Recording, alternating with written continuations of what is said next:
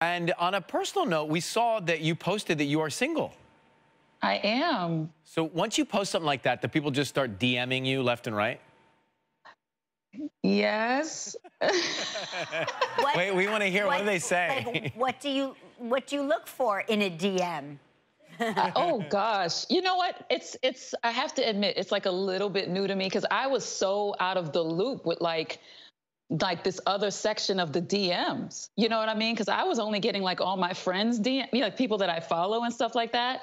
So there was this whole other world waiting on this page of like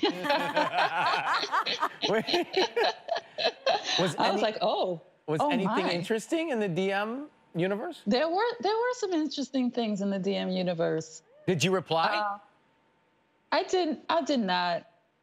I'm a punk.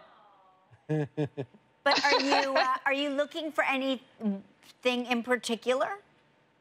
Um, in a guy just in general. Yeah, in general, what do you look for? Oh, well, I like I love like a good sense of humor. hmm I love to laugh. So that's that's big.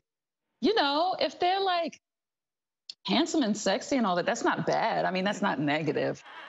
Tell, tell her a joke. Tell her a joke. no, but she's. Something. I, I'm I'm disqualified. She said handsome and sexy. I'm DQ'd immediately. Listen. There's no sex not. appeal No, no, exuding out of this. That's not true. You can be Kelly, let's not fight about this here. No, I'm just telling you. Sometimes now, not in front of- when you squint your eyes. Not in front of my future. When you squint your eyes, you can be very sexy. When I squint, when I can't read the teleprompter, it's very hot. Listen, Ryan, you are a very handsome man. I'm loving the hair, the beard. You are giving us everything. So do not sell yourself short, sir. Respond to my DM. I mean, my God.